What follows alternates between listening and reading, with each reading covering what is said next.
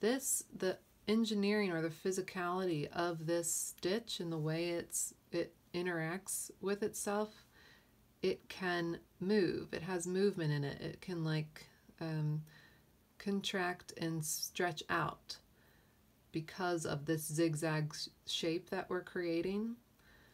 Um, so that's why it's good for stretch fabric and elastics and jerseys and stuff. Edge right here.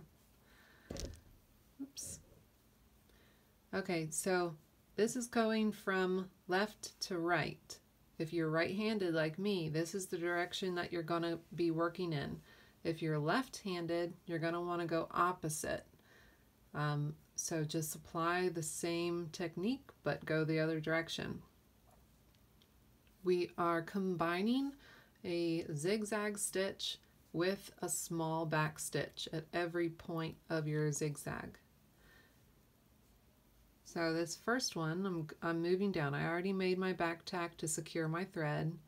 This first one, I'm just picking up. I'm not going through the exterior layer. You do not want to have this showing on the other side.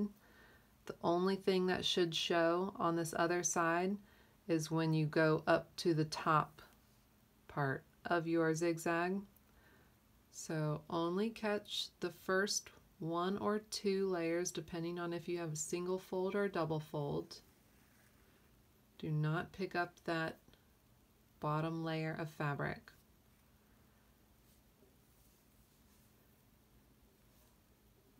So you see I came down in this V shape.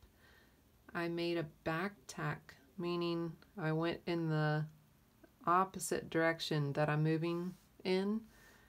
Come down in a V, pick up your yarns in this opposite direction. Now you can go up to your top of your V. This is where you're catching the yarns of your underneath layer, which is ultimately the, the good side of your garment. So the other side of this would be the outside of the garment where everybody can see. This would be the inside where we're working. So that's our first zigzag. Come back down, only pick up a couple of yarns of the first layer or the first two layers if you did a double fold like I did and I did that back stitch motion and then I'm going to travel back up to catch a couple yarns of the face of my garment. So these stitches at the top of your zigzag, those will be the only stitches you should see on the outside, the good side of your garment.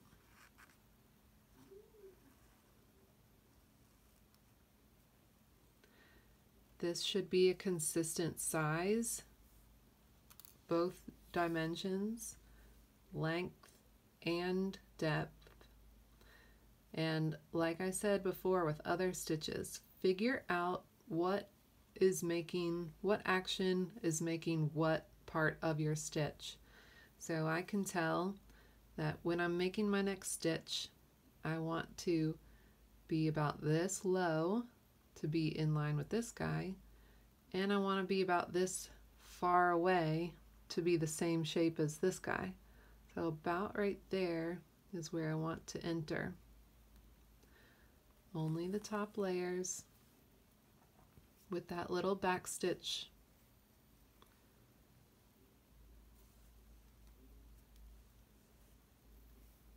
Come back up to grab a few yarns of the base layer. Notice how much I'm needing to fix my thread.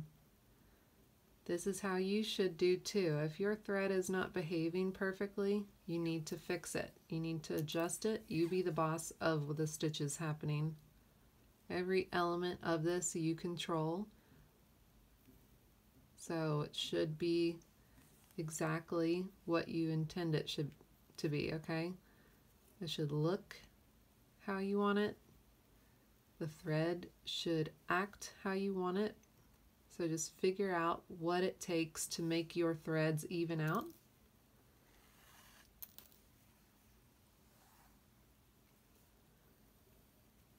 Okay, we just did the little back stitch right here. I'm coming back up, making the top point. I'm also doing that back stitch motion at the top. So both both the top and the bottom get this reverse direction of stitch. That's the back stitch part of this. So I did that back stitch at the bottom. Now I'm going to come to the base layer and do that same back stitch motion at the top, only picking up a few yarns. Okay, and this is what it should look like on the good side of your garment. You should just see these itty bitty stitches. That's what I picked up at the top of my zigzag, okay? All right, that's your catch stitch.